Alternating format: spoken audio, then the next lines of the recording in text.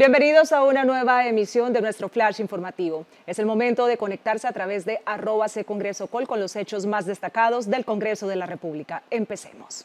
Con el fin de brindar garantías a los niños con cáncer, la senadora Nadia Ablel le pidió al Gobierno Nacional que reglamente la ley Jerónimo que busca facilitar los trasplantes de células madre para niños y jóvenes que padecen esta enfermedad. Veamos. En los últimos días se conmemoró el Día de la Lucha contra el Cáncer Infantil, un flagelo que sigue cobrando la vida de muchos niños. Actualmente en Colombia hay 7.800 menores de 18 años que padecen esta enfermedad. Tan solo en el año 2022, la tasa de mortalidad por casos de leucemia infantil aumentó en un 6.7%. La senadora Nadia Blel, autora de la ley Jerónimo, que busca crear un registro público de donantes de células madre para tratar la leucemia, le ha pedido al Gobierno Nacional adelantar el proceso para reglamentar esta ley que establece el Registro Nacional Público de Células Progenitoras. Por eso queremos pedirle que lo reglamente lo antes posible.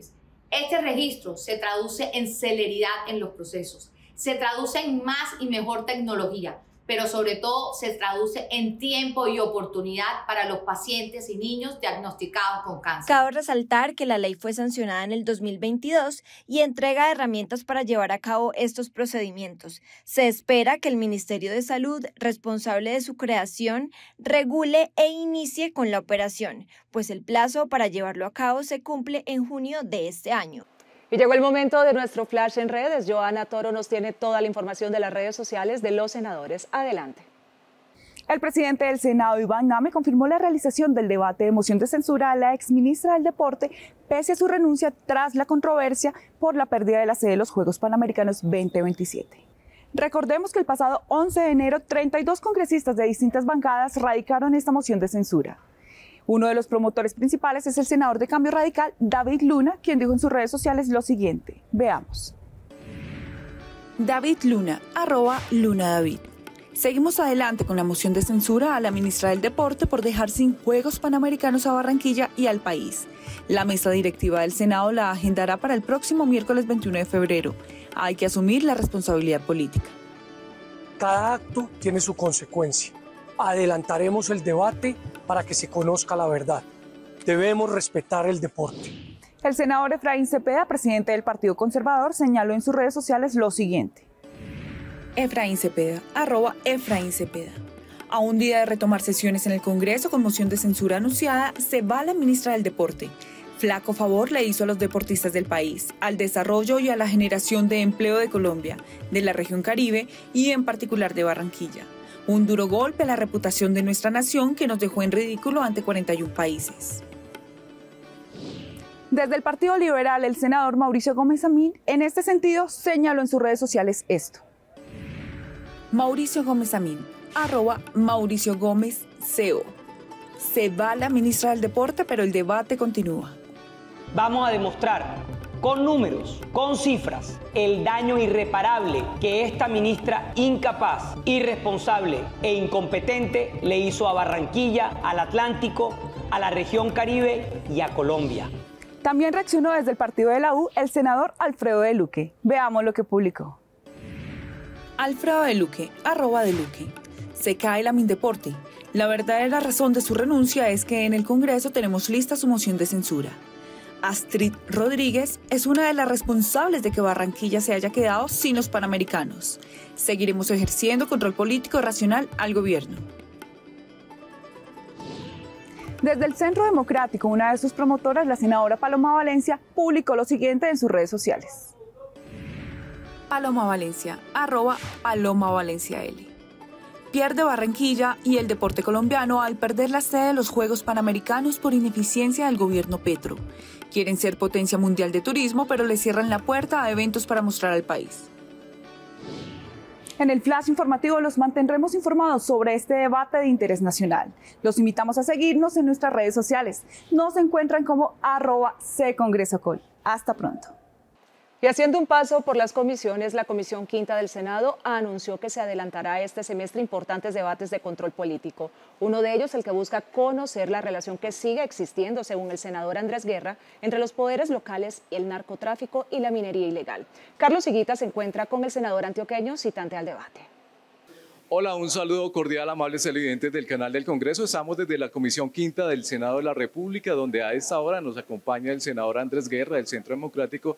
Senador, bienvenido al canal del Congreso. Usted tiene un importante tema que va a traer a discusión, a debate de control político aquí a esta célula legislativa sobre el tema del relacionamiento de los poderes locales con el narcotráfico, la minería ilegal y otros flagelos que afectan a los colombianos. Cuéntenos más detalles de ese importante tema. Carlos, en el 2002 el actual presidente Gustavo Petro empezó en unos debates de poderes locales. Recordemos que fue en el departamento de Sucre, luego al departamento de Antioquia, donde apareció el escenario del paramilitarismo.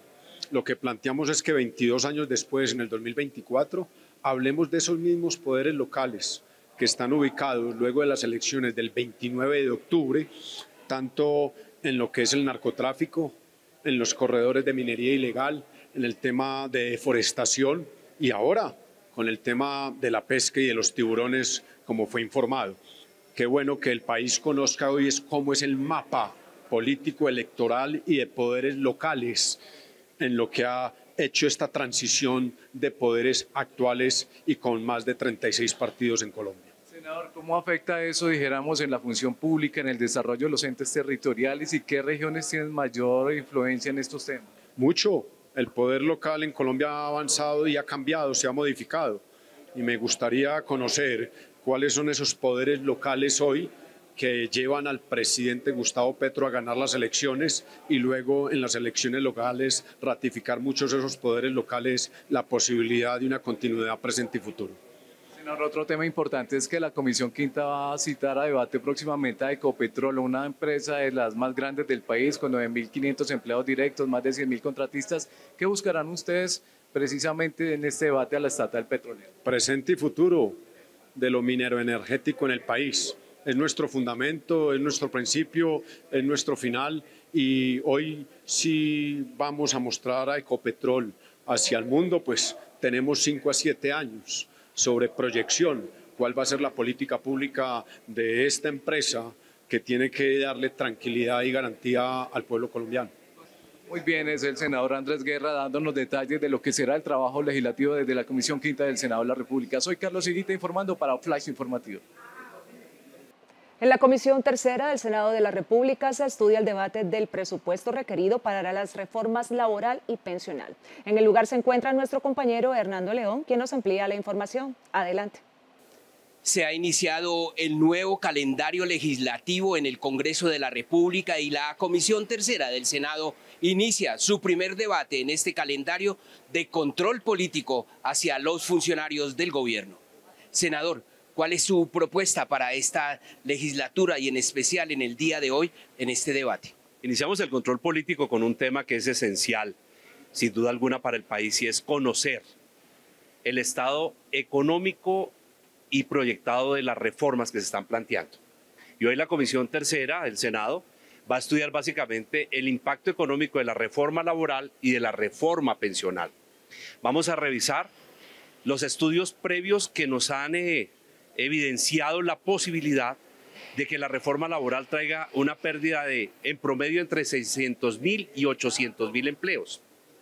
¿Qué significa esto? Esto es una reforma laboral que genera aumento del empleo y mueve la economía o es una reforma laboral que genera dificultades relacionadas con la financiación de la misma y con la dinámica económica.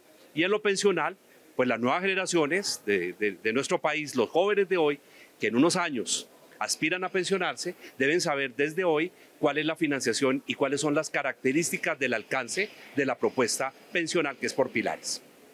Es la manifestación que existe de este nuevo calendario legislativo en el Congreso e iniciado desde luego a la Comisión Tercera del Senado este debate que tiene que ver con el futuro de los colombianos. Y así llegamos al final de esta emisión de Flash Informativo. Ustedes gracias por preferirnos. No olviden seguirnos en nuestras plataformas digitales donde nos encuentran como arroba Congreso. Hasta pronto.